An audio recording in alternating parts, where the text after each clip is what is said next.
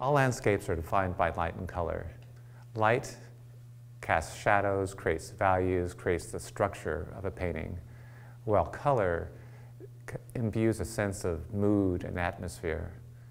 Watercolor is uniquely suited to do landscape paintings. Its natural luminosity creates a glow in the landscape, while its singular softness creates, is perfect for um, trees, greenery, um, water. This painting here is, was based on a quick uh, plein air sketch I did in Lakeville, California of a sheep ranch.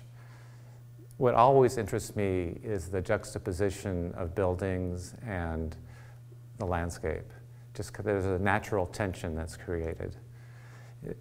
And in this case, we've got the weathered barns, the eucalyptus tree, and the pasture. I always think about foreground, middle ground, and background. This definitely has a background. The middle ground are the, the barns, but there really wasn't much of a foreground. And so I remembered the sheep that were just kind of over off, off, this, off this direction, who just hap didn't happen to be in their paddock at the moment. So I shifted a bunch of things. I put in the sheep and thought, okay, the story is about the, now the sheep in the paddock, as well as these barns.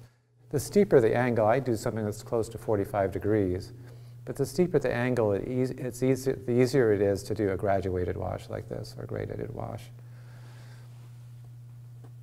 Because you, you just keep that, the, the gravity is keeping that bead coming down the page. If you do something flat, it, it, gravity doesn't work. So this is, I, I would experiment uh, to, finding one, you know, keep increasing the angle until you're really comfortable with it. If it gets too steep, of course, you'll get drips. So there is a fine line between the two. But this will make your life, life much, much easier.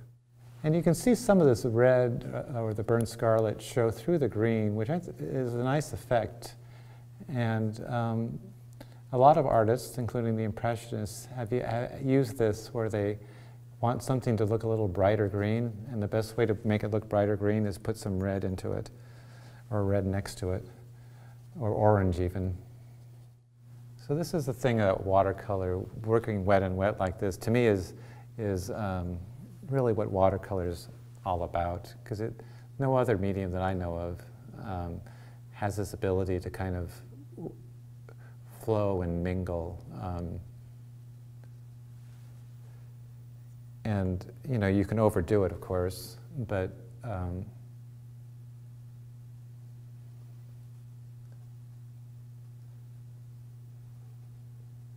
but it's a technique to kind of it's such a powerful technique that it's it's really worth keeping in your tool chest. I mean, when I drew these sheep, I, I, was kind of paying attention, and I see my line work in here. But you, what I want to do with a shadow pattern like this is link it together so it's not just one shadow, one shadow, one shadow. So I want these, to the extent possible, without kind of forcing the issue, to have this shadow constantly touching something else. Okay, so you get to a point here at the end of the painting where you kind of begin to think, okay, you know, I need to just do something over there. You know, really that should have been a little bit darker. Um, but I get to it, but I've, I've learned over time that it's best to just kind of stop, let it all dry, put it away for a few days, and then look at it and forget about what you were trying to do and evaluate for what it is.